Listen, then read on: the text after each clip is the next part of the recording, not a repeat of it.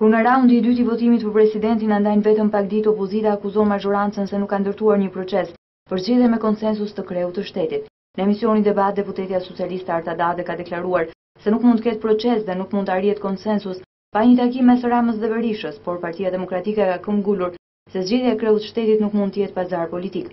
Jep një përgjigje përse zoti Berisha heziton dhe nuk ka kurajon po ka frikë të takojë Edi Ramën dhe të ulet të zgjidhi problemin e presidentit të zënsuar. Po ju për pyetjen tuaj. është një proces kushtetues dhe si i tillë bëhet edhe në parlament. Dhe nuk mundet të zëvendësojmë parlamentin dhe negociatat parlamentare t'i zëvendësojmë me pazar siç kërkon zoti Rama. Ta takon të dielën zoti Berisha me zotin Rama?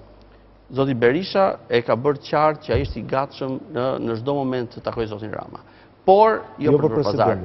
Mazhoranca ka theksuar se gjyqtari i Kushtetueses, Xhezair Zaganjori është një kandidaturë që plotëson kriteret e larta dhe do të vazhdojë të jetë emri me të cilin Partia Demokratike do të kërkojë konsensusin e opozitës.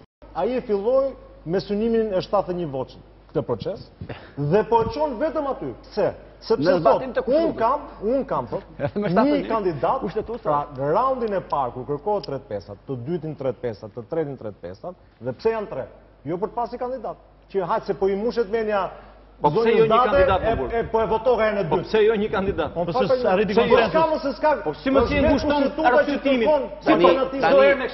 Tani që t'ia po, po, shpjegoj, a mund t'ia po, shpjegoj pak zotit Fuqi? Ajo që unë po them, është, kandidati jonë, bazohet në disa parametra që kanë të bëjnë me integritetin e tij si individ, me integritetin e tij profesional dhe me faktin që nuk vjen nga asnjë parti politike, askush nuk mund të thotë është i kësaj apo asaj partije.